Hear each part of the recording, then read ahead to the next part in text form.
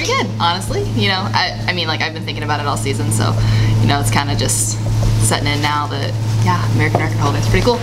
I've always like been a better long course swimmer, so this summer after having some really good long course mm-hmm. swims, you know, you know, being top ten in the world, uh, I was kind of just waiting for it to translate over into short course. Um, but you know, just adding weights and you know having consistent swimming schedule and this is the first year I haven't been bouncing around coach to coach so really just like having some consistency has been really great this year.